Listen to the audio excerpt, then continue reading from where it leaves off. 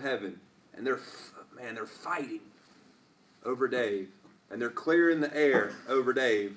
So the voice of the Lord. Yeah. Somebody right? must have been doing that. So, somebody must have been doing that, right? Think about the, the darkest point in your life where you were struggling and you were hurting. Somebody was doing that. My granny yeah. was she was doing that. Yeah. Right? Yeah. She was on her knees praying. Fighting over me. Go ahead. So I kind of noticed um, while I was at the center. Josh.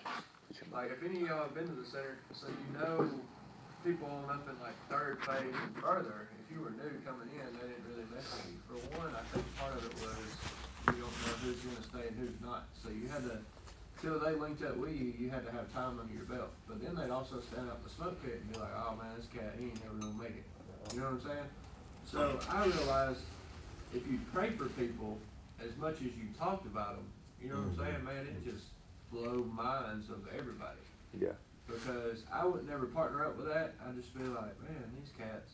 But you could sometimes you could tell, like they come in and have buck in them. You know what I'm saying? But I come in with buck in me.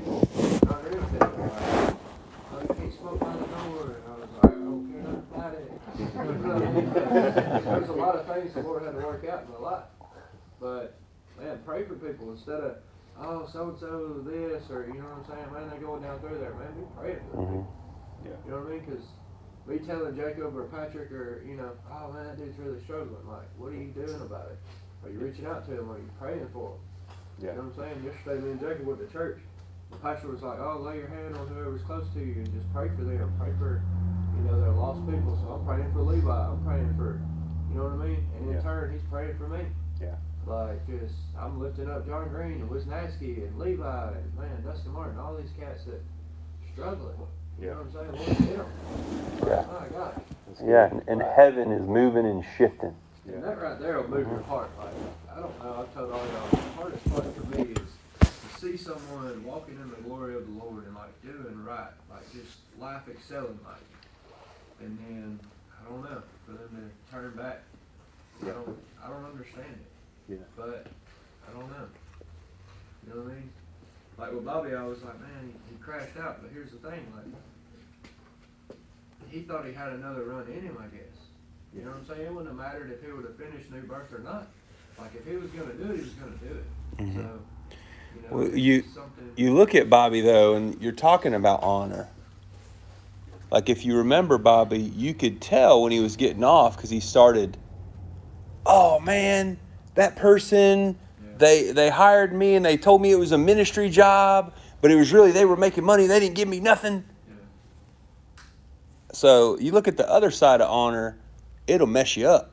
Right. Like if you don't, if you're walking for the Lord and then you don't honor people, that'll just that'll just mess you up. I was telling somebody the other day, they were like, "Oh man, yeah, you got it crazy because that's your brother." I was like, "All right, well let's just let's really break this down." I was like, I remember starting for a little bit of money. Like my checks per week was like 260 bucks. You know what I'm saying? I remember working Saturdays for nothing. He's like, what did you do that for? I was like, because I had to. You know what I mean? Like, you're going to work Saturdays yeah. till, and then yeah. once I got overtime, it was like straight pay. I was like, so when you're like, oh, oh, you got it because that's your brother, I was like, I got it because that's my brother. Like, it's really the other way around instead of what you're really thinking. Oh, yeah, like, I, I everything I have, I worked hard for and continue to. So, yeah, nothing was really handed to me. Well, I mean, it was, but then I had to work really hard for that. You know what I mean? Like, just do like a work. work yeah. I got the butter from the duck. I got the butter. I got the oh, butter. I didn't go without nothing while I was at the center. I didn't have no transition lenses, but hey, you know what I'm saying? Bobby one time wanted some glasses. He comes up, he's like, hey, you think can get those transition lenses that go dark when I walk outside? I was like, no. What? No. You better get some clip-ons, Bobby. Amen.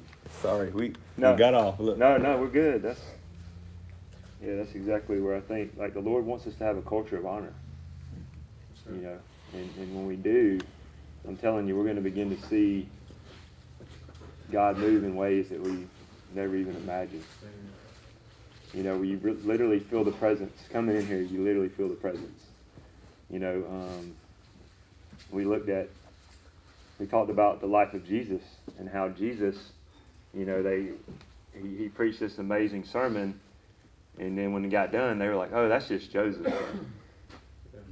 It's just, you know, it's just the carpenter's son." You know, and then it says he could only, he couldn't do any mighty miracles there. He could still lay hands on a few sick folk, right? But as far as like really ministering on that level where everybody was impacted by it, that that spirit of familiarity kind of just brought all that to, to naught. You know, so just something to think about. You know, we come in this place as far as honoring one another and really just honoring people in general. Um, it seems like a lot of times people you're close to, like maybe your spouse or sibling, somebody that you're real familiar with, that you've known really good, sometimes it's tempting not to, to, to honor them the way that you should. Because you do know them real good, you know. But uh, I feel like the Lord's really calling us to that place, and, and even me, like to just be able to honor my wife better. You know, just to be able to humble myself and just honor her, like lay down my life. You know, there's been times when I've said stuff and I'm like, did I really just say that? Like I said the right thing, but I don't like the way I said it. Like that was kind of jerky, you know. And I think you just get to know people and you get comfortable, you know. But God's really calling us into a place, man, to just really, really honor people, you know. And I was thinking about when we were just talking when you said that, Josh, about um, just when people are in their mess, trying to still honor them. I was thinking about Nebuchadnezzar. You know how you got this evil king. I mean, evil king. Like he, this dude was so evil. He made a statue of himself and told people they had to bow down and worship it. You know, and then you have here's Daniel, man of God, is called in to be a prophet for this king. Can you imagine? And he stayed there and he served him.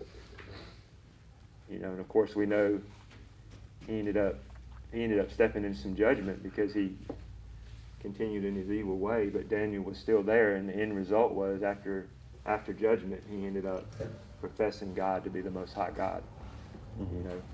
But Daniel Daniel made a powerful comment in the middle of that. He Nebuchadnezzar had this dream and the dream was basically about judgment. And Daniel saw it. He was like, Man, I wish this was on your enemy, not on you but it was really upon him. But that was just the heart that he had to honor him, you know, to honor the place.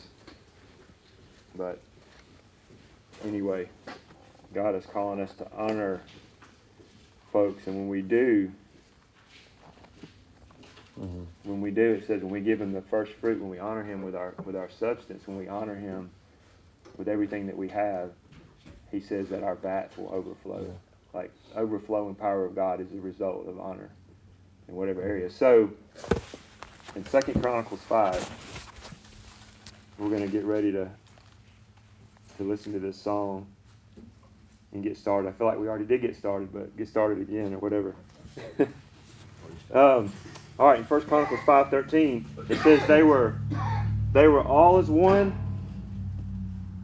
They were making one sound to be heard and praising and thanking the Lord. Man, there is powerful in praise and thanksgiving. Yeah. In unison. Yeah. Coming together in unity. Man, there is so much to be thankful for. That's the thing about honor. And honor, when we're honoring folks, when we're honoring God, when we're honoring people, try to look at the gold in that person. Don't look at the thing they just said or maybe something they did last week or something you heard about them. Try to think about all the positive things that they've said and done. Because they always, by far, outweigh the negative. And give thanks for that. Give thanks. Look, even in your own life, sometimes we can think about something we did yesterday. Maybe we got out of character. Maybe even on, even on our way to work, maybe something happened, you know, and we got out of character, and, and the enemy wants us to focus on that. Focus on and remind the devil about the good things that God's doing in your life. Remind him about where you come from. Remind him I'm not the man that I used to be. I'm not that man anymore. I'm the righteousness of God now. I'm chasing after God. I love God. You know, God has first place in my life. His word has first place in my life. Mhm, mhm. I don't go to the places I used to go to. I don't talk the way that I used to talk. I don't think the way that I used to think. And I thank you for that, Lord. Hey, brother. I thank you for the transformation. I thank you that I'm a new creation in Christ. Right? And when the enemy starts trying to bring that condemnation about yesterday, that's under the blood. That's under the blood. I'm a new creation. Once we give it to God, it's gone. You know? And then when the enemy tries to bring up those those those thoughts from our past and even yesterday, and we remind him about what Jesus did, right? Then I'll tell you, he's gonna he's gonna take off. When we start having a praise party in the middle of the enemy's condemnation, mm-hmm. the darkness can't comprehend the light. Yeah. He's got that's what resisting the devil means. Yeah. Resisting the enemy. You start praising the Lord, right? Because that's what he used to do. He used to praise the Lord. You start doing that, he's got to go. Amen. He's got to go. They were in one place, one accord, one voice, giving God praise and giving God thanks. What's that? That's honoring God. That's honoring God. And what were they saying? The Lord is good, and His mercy endures forever. It's almost like Pentecost, but the Old Testament. It's like this. It's like the same scene Yeah. that happened on the day of Pentecost. Like If that was the only praise we had from here throughout eternity, that the would be The Lord enough. is good, and His mercy endures forever.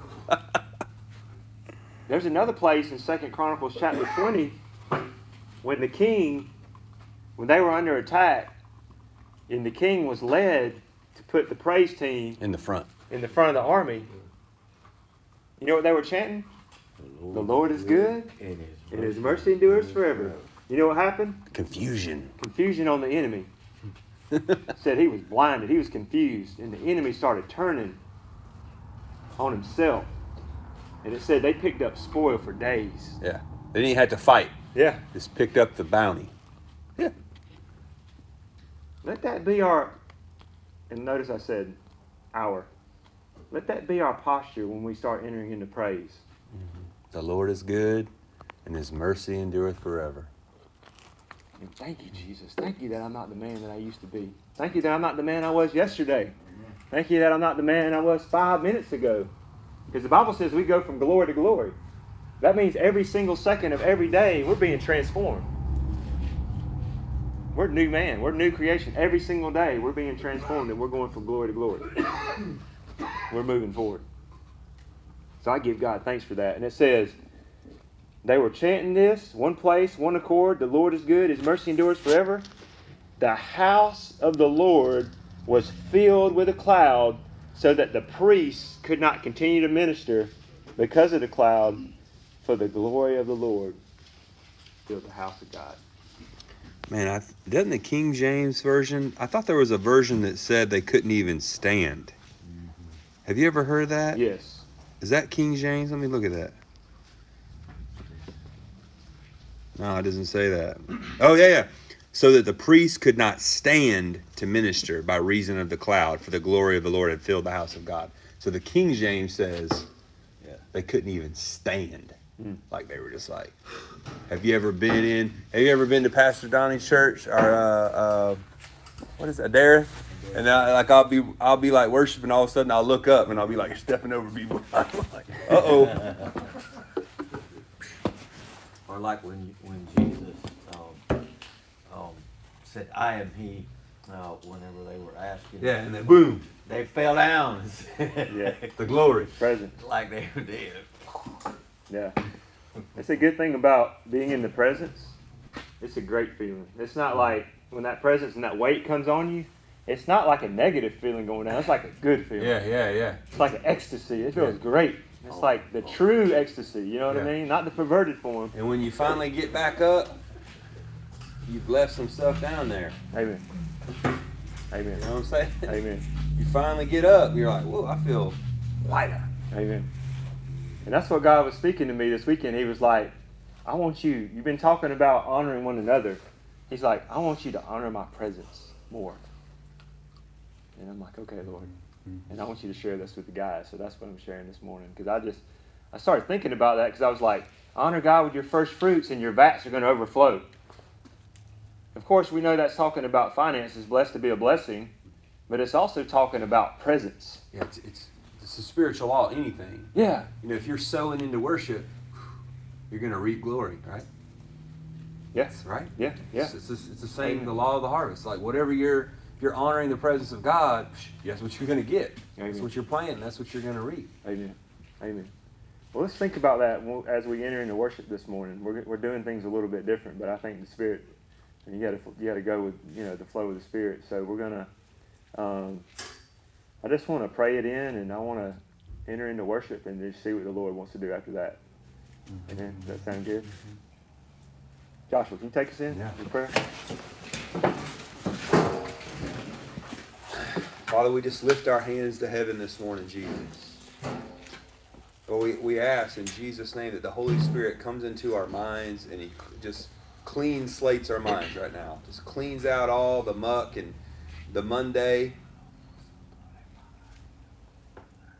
Lord God, that you come down, you you prepared a place for yourself, you prepared a temple for yourself, Lord God. Not made with hands, you sanctify it by your blood, Lord Jesus a place for you to rest, a place for you to sit. I pray that we clear our entire mind, Lord, that you show us what worship in spirit and truth looks like this morning, God. That we could just host your presence and host your glory. In Jesus' name, amen. Just a posture, Lord God. Just give posture us, Lord. Position us, align us, Lord, to heaven, Jesus to worship you, Lord. You're worthy, Jesus. You're worthy, Jesus. Are you ready for him? Your name is worthy to be praised, Jesus. That if you be lifted I wore a suit because I came here to do business with Jesus tonight.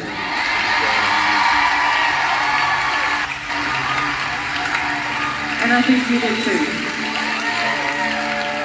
So let's do it.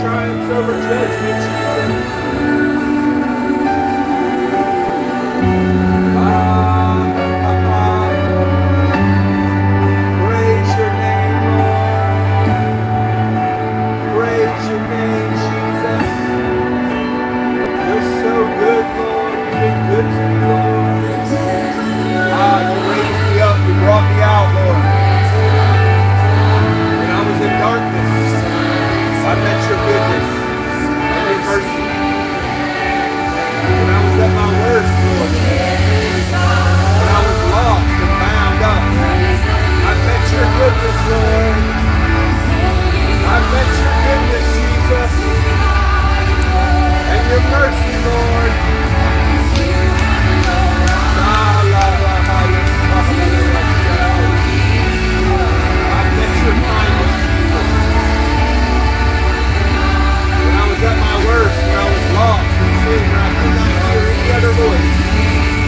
heard your voice of goodness Jesus. Your goodness got through, your mercy came through for me. You're worthy, Lord Jesus. You're worthy of praise. Your goodness triumphs. Your mercy triumphs over judgment.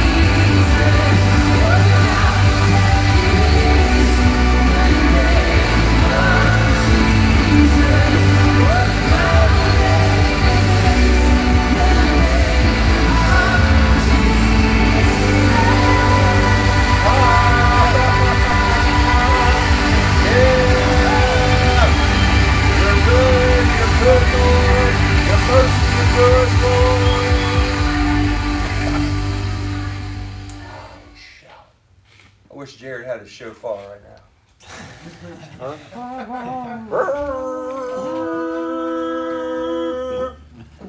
Do it, Jared. Come on, Jared. I don't have to. Do it with your mouth.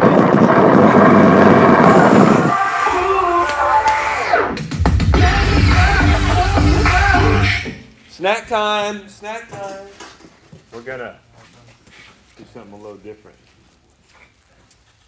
Woo, everybody smile.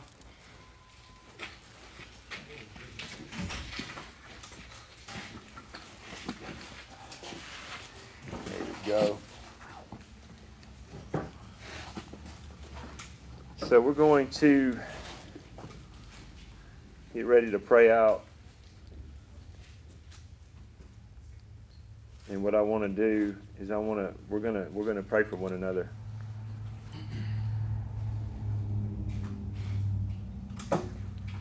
And what we're going to pray for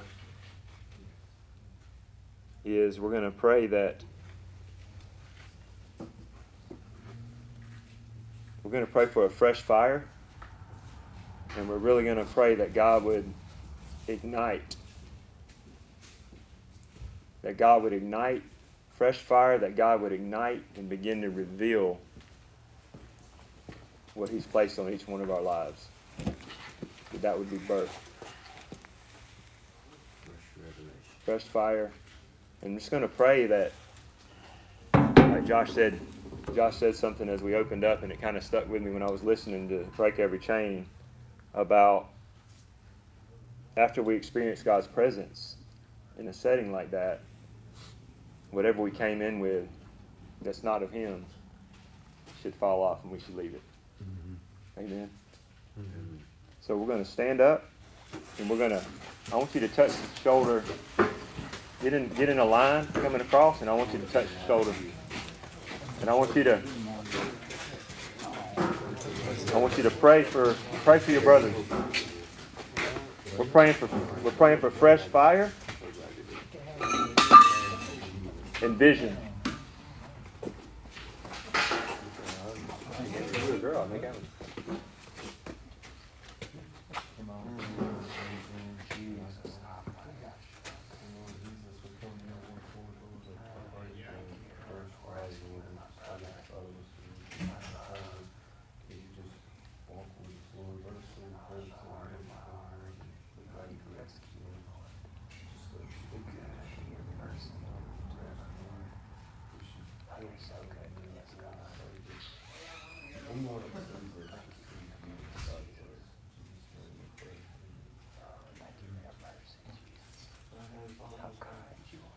Thank you for this day, thank you for waking us up this morning.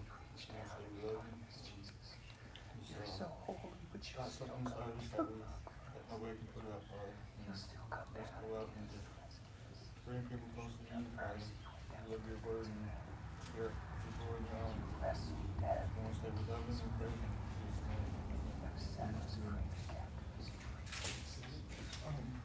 Thanks.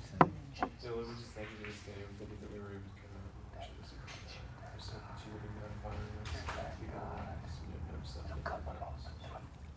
Just pray that we would continue to seek your face. even more. Thanks for each other. Lord, we thank you for the boldness, Lord God, we can proclaim your name, proclaim, proclaim the message that you have for us, Lord God. Let us just uh, speak boldly about your name, and just, just bask in your presence, Lord God.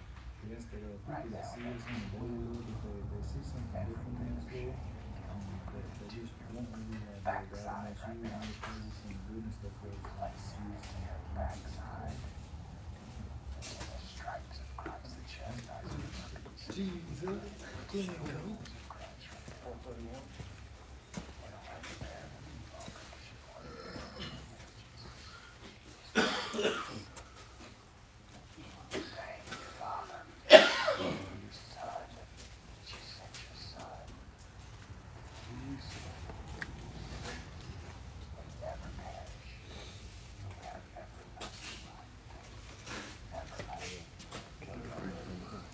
you.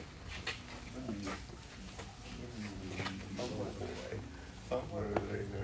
somewhere. What's going on today? it? It's just been hurting me all week. Okay. It's real busy Saturday. Lord, anchor. Yeah. Heavenly Father, I just come before you right now. Come against this busyness, Lord. Whatever's going on in front of his head, I don't want to speak healing and wholeness right now, Lord. Lord, I just thank you for nothing missing or broken, Lord.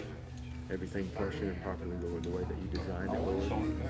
Even better, Lord, in the way that you designed it, Lord. I come against and bind up any, any sickness or any, any plot of the enemy. Lord, whatever it is, we bind up in Jesus' name, Lord, and we just lose your Lord. for Bring healing. In Jesus' name. Yeah, shameless. I was actually on shameless. Pray. Yeah, but you know, I found out the face how bad I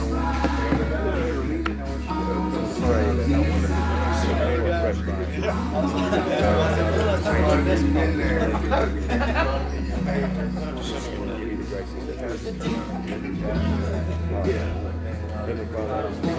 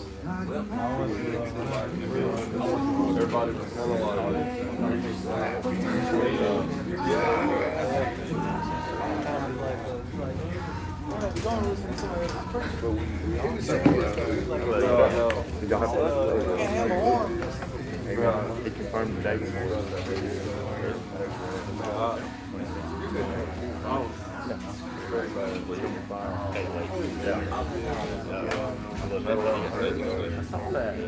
I feel ten times better than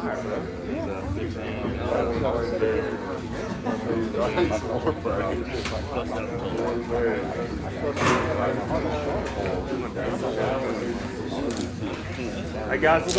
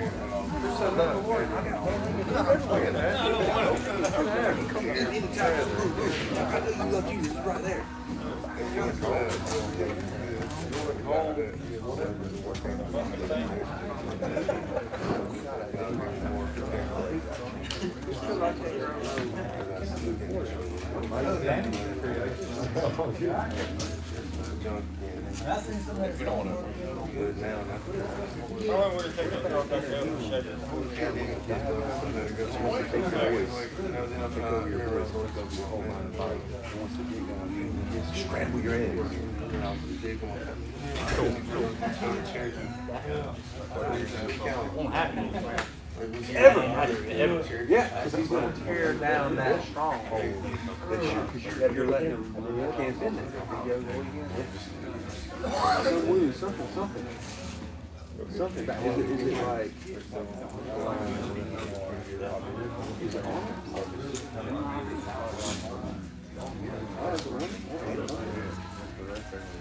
The song didn't go so holy, holy, holy. Right, it didn't go so like that. More like, Yeah, so what happens is a man of God like himself gets off into that little small thing.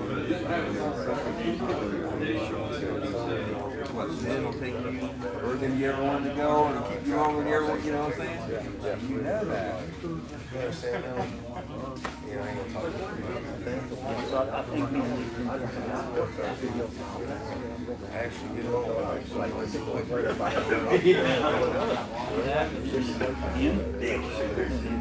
in, in time. Yeah,